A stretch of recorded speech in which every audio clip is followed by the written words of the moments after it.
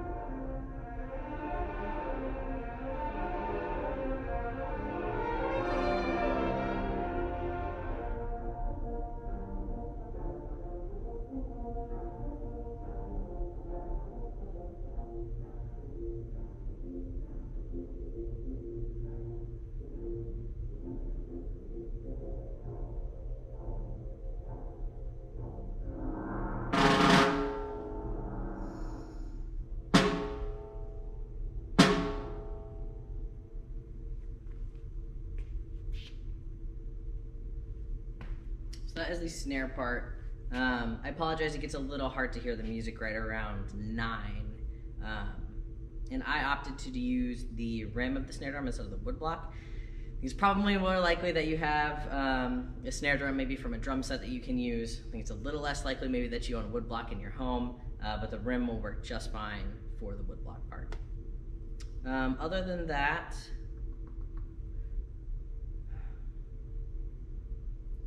Uh, the only other part that's a little tricky is the ending, just because there's a lot of um, loose bits here or there. Um, so make sure you know what your part lines up with, um, and that you can listen for the other parts as they're coming along. But that's the uh, the snare part for the children's march.